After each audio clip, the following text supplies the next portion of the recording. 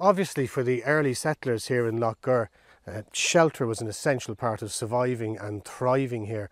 And they were blessed when they came to Lough Gur because, as you can see, the hills are covered in oak and ash trees, which would have been perfect for building the roof structure and the walls of their houses, along with some limestone.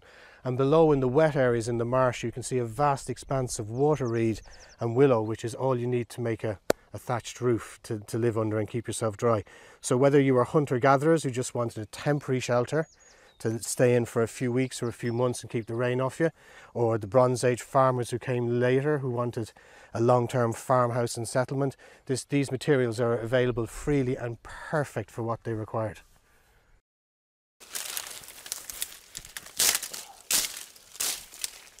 What you're looking for when you're cutting reed is long straight reed. Uh, this reed is actually really rough because obviously it hasn't been cut for a long long time. If you cut reeds regularly or every year it actually grows straighter and finer and, and it's more usable and you get more of it. Uh, people often wonder when we cut the reed does it kind of impact on the environment or prevent the use of it by animals or birds but actually it doesn't because in the winter time there's virtually nothing in it. And then in the summer, when the new growth arrives, is when most of the birds come to use it and feed off it, and the insects use it. So, in fact, cutting reed on a regular basis helps maintain reed beds, and they do better. Um, in terms of using it for thatching, ideally, like I say, what you want is long, straight reed. And in terms of making it easier to cut, ideally you don't have lots of last year's growth in it. So this it makes kind of tough going. But I suppose when uh, the hunter-gatherers first arrived here, this is exactly what they would have encountered. Virgin reed that it's never been cut before, just as it is, and it's what they would have used. I'm cutting it with a sickle, which is an amazing implement which hasn't really changed in 10,000 years. It's such a fantastic design. Uh, mine is made of steel, obviously, but back in the day, it could have been made of bronze. And before that, I guess if you had to, you could use a deer antler. Um, if it was sharpened, it would probably be tougher going, but it would achieve the same aim, you know. So first you cut as much of it as you can, and then you tie it into bundles. If you're cutting reed on your own in an average reed bed, you'd expect to get about somewhere between 50 or 60 bundles like that pile there a day. And uh, to do an average, like a small roundhouse, you need like 800 or 1,000 of them. So like on your own, you would be at it for a good few weeks. But if you're a family group, you could cut enough reed to uh, make your house in a small house in a couple of weeks or a big farmhouse in three or four. And I kind of figure, particularly with the Bronze Age when there was more settlements and that, since a thatched roof lasts 15 or 20 years, they would have cut it as a meitheal, where, you know, obviously you do three or four roofs every year, and everyone would get together in a group and cut reed for the next few houses the next year. And that way, the whole community could uh, quite easily be kept warm and dry with one reed bed like is here at Lough Gur by a bunch of 20 or 30 people very easily, you know. It's fairly wet and spiky underfoot here, and uh, it's great having a pair of Wellington boots. I presume back in the hunting gathering days, the, the Stone Age or the Iron Age, they'd have had to protect their feet with whatever they could. Um, they were tougher than us. I dare say if you could travel back in time with a bag of wellies to flog to them, they'd have loved you. Another little interesting thing, and it ties into the whole Lough Gur story, is as a general rule, there's nowhere to put your tool when you stop to gather it. So one would generally stick your hook in the ground like that, because that way you can find it again afterwards. After you've cut the reed, we tie it into bundles with some trusty old-fashioned baler twine, sisal baler twine. I presume back in the, the Bronze Ages or the Stone Age they didn't have it, but they, they could have possibly made some twine from rawhide or or some kind of creeper or something. Or as I'll show you in a second you can do it from bark if you're lucky. So you tie it tight.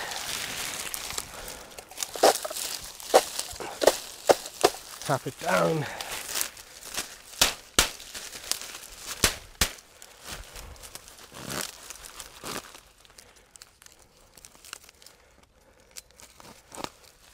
And there is a bundle of reed. So, only 800 to go.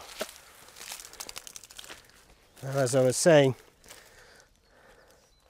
there is another way of doing it, which sometimes works and sometimes doesn't if you really don't have baler twine available to you, which is you can use the willow bark if you can get a piece of it off. The trick is to try and get a long strip of it.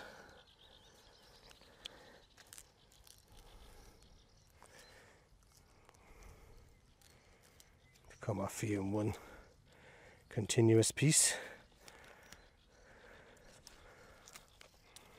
Like so.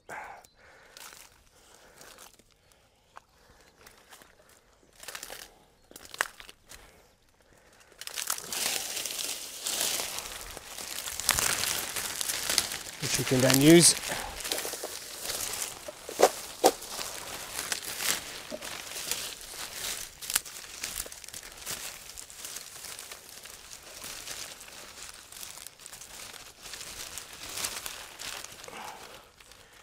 you can then use as a very natural and very effective alternative to twine. So it's probably fairly safe to assume that was one of the things that could have been done in the past. Once you had the reed cut, of course, you had to fix it to the roof with something, and generally that would be fixed on with what are called scallops or scullop in Irish, sometimes called spars in English. And the willow tree is one of the perfect trees for it. Generally, you'd use willow or hazel, so whatever's to hand. So again, here in Lough Gur, you've got regrowing, and you've got you've got willow right here where you want it. So if you take a willow branch and cut it, again, this could have been done with a, a Bronze Age knife just as easy. You can then split it down the middle. Normally you'd gather the branches and take them home and do this by the fireside in the evening. But just to give you a sense of it, you've then split your willow in half. You can put a point on it.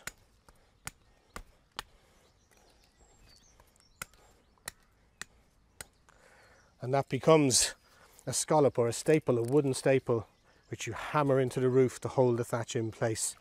So again, right beside your reed bed you find the material you need you know? And likewise if you wanted uh, longer bits of wood to actually hold the thatch in place you can get you can find lovely longer pieces of, of willow and split them. It's worth bearing in mind that if you actually chop down these willow trees they don't die and they come back with thousands of these little shoots which are incredibly useful both for thatching and also for making baskets and fish traps and all the rest of it. So the uh, original settlers of Lough Gur would certainly have coppiced the willow in order to get loads of these ones. But as you see, it splits very easily in half. And then you've got two long lengths that you can use to hold the thatch on the roof. So you'd hold the thatch on with these and then drive the scallops through it to hold it on, which I'll show you in a bit up on the roof.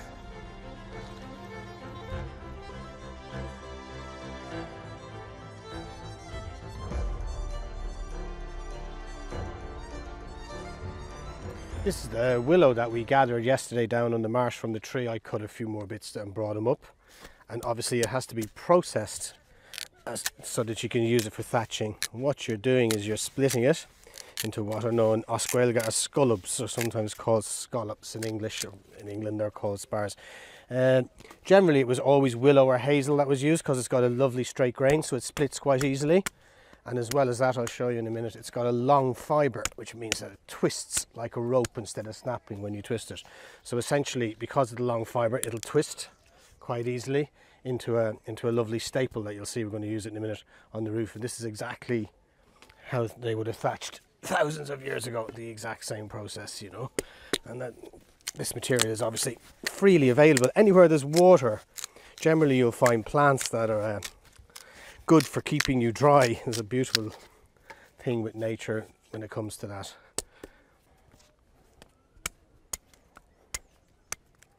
You want a nice sharp point on them so they drive into the thatch.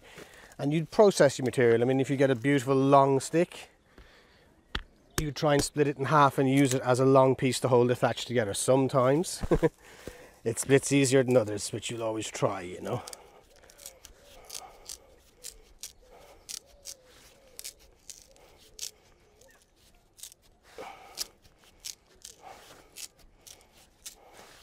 And again, you know, all you need is a sharp knife or a sharp piece of bone or flint or whatever is the only tool you need to split the wood in half like that, you know. And once you once you've got your willow split into spars or scallops as they're called in Irish, you be here's a few I prepared earlier. you'd be ready for thatching. And now this this reed we harvested yesterday, like I said, is is exceptionally rough because it was the first time it was cut. Uh, when they were out harvesting reed, the original, the uh, early settlers here, they would have gone and searched around the reed bed looking for the best reed they could find, you know. Um, and like we said as well, if you once the reed's been harvested for a couple of years, it actually grows straighter and finer and becomes more workable over time. And basically all you do to fix reed on a roof, I'm fixing it onto an existing thatched roof, which is how you'd repair it. Or if you're attaching a roof for the first time ever, you lash a load of this to the timber framework like this and then thatch on top. Or quite often you'd use sod, you just cut some sod from the bog or nearby and lay that straight on your branches you'd use for your rafters. Just a bed, something that you can drive these scallops into. So you stick one and they just literally just drive in like wooden pegs.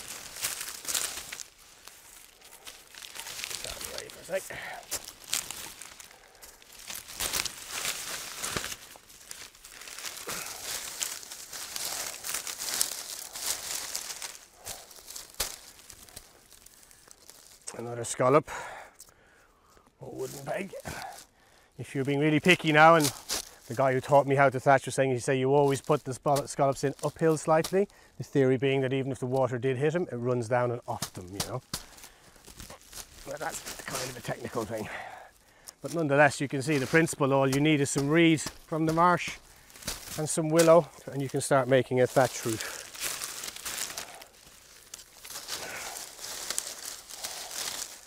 Tied with a lovely tree bark.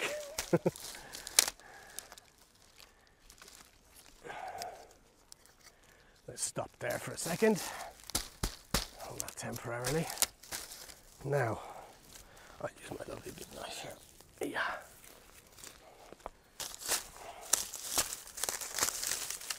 Get your fingers.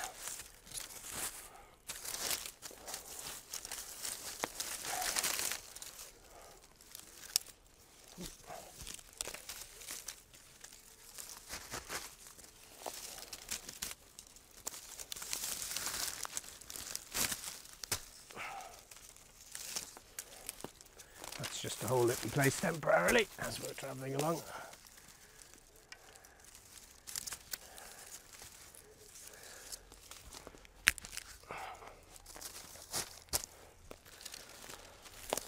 Now obviously I'm going to try on a pair of modern gloves. I presume it wasn't particularly difficult to make a pair of of leather mittens, hide mittens of some kind to protect your hands because the simplest way to thatch very basically is just with your hands.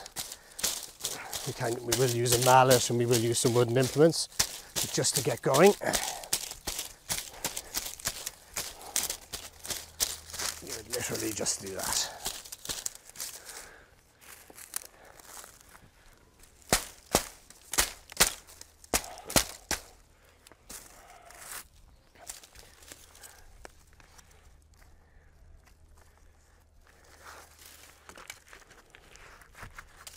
Second fixing in just to secure it a little bit better.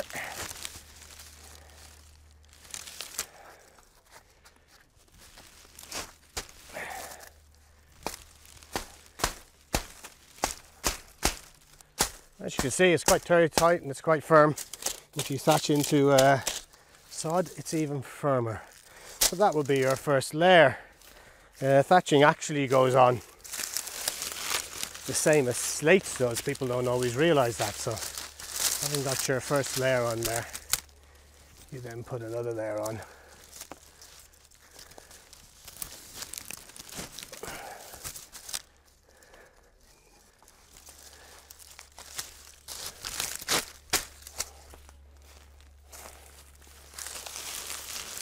like so.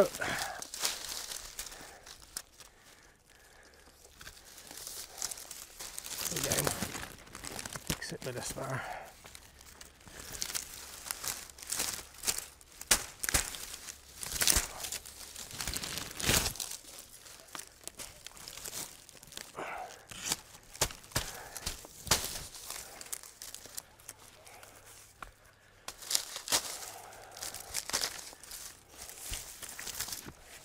There's a saying in Irish which we all learnt in school, or a lot of us learnt in school, Ní hé lá na gaoithe, lá na scullub, which is usually translated as the windy day is not the day for thatching. But the actual more accurate translation is the windy day is not the day for scallops, for scullub, which as you can see implies that you should never try and do something at the wrong time. And you can see why when it's windy it wouldn't be a great day for using scallops. Now, now you can get more elaborate tools when, for doing modern patching, such as you get like it's called a it's called a bit it's called a legget. It's like a wooden paddle with grooves in. I actually don't have one, but you can just use a mallet. And in fact, back to the Neolithic, if you had absolutely nothing else, you could actually, as you can see, just use your hands. And although it looks kind of rough, that is a thatch. That's now the beginning of a thatch roof. The next layer goes on top like slates to cover this and on up the roof you go, you know. So you can see that with the materials that the uh, early settlers in Lough Gur could have gathered quite easily, it would have been very easy to make it to make a lovely waterproof roof, quite easily, you know. And this is reed from the Shannon, cut out in Coonagh, just on the Clare side of County Limerick, you know. Using the exact same tools, just a sickle. The guys who collect it actually travel by boat. They go down with the tide and up with the tide it's the exact same plant, but it's that little bit finer because it's been harvested year after year, you know. And when these lovely thatched roofs were made in the Lough Gur Heritage Centre, it was Shannon reed that was used on them originally, this, this self same reed. And it's what I'm going to use on the cap up here in a minute.